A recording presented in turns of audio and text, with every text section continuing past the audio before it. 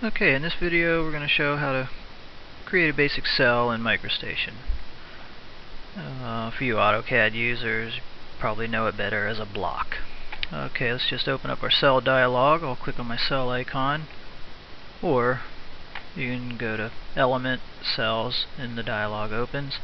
And you see it says Cell Library None. We have no cell library open.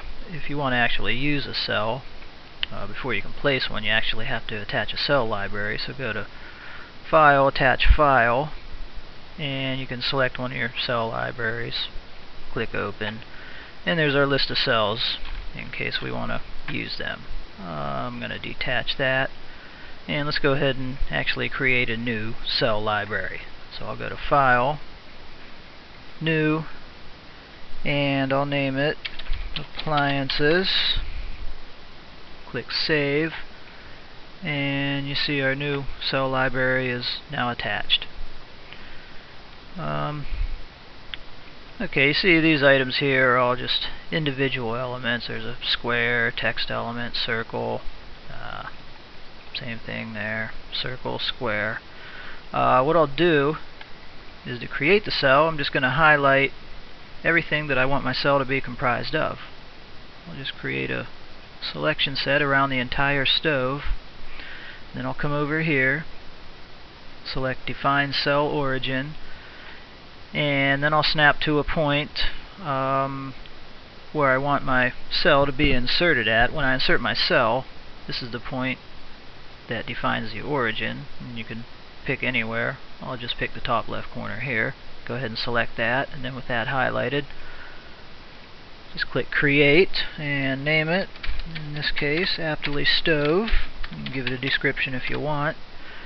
And we'll choose the graphic type cell in this case and simply click create and there's our cell.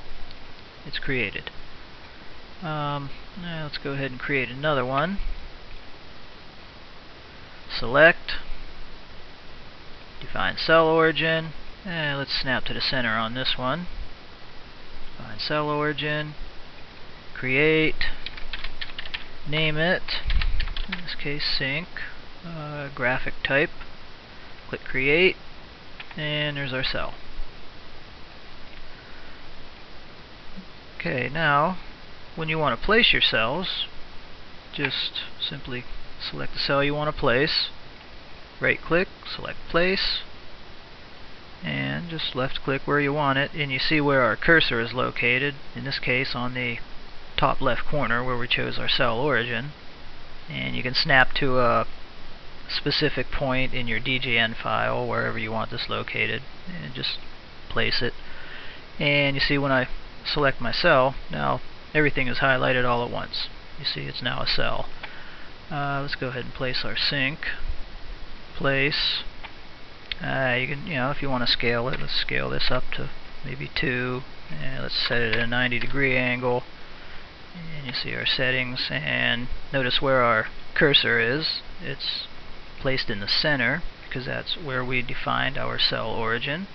Go ahead and place that. And again you see it selects all as one as an entire cell. Uh, if you need to make some edits to your cell just go up here right click select open for editing and your cell opens up and now you can make your changes that you need to. You see the individual elements, you can select them and alter them and whatnot. Uh, let's click back to our DGN file. Go to Element, Cells, uh, go to File, Detach. Now we have no cell library.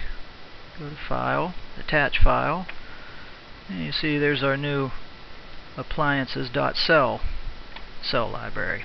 Go ahead and open that. And that's how to create a basic cell in MicroStation.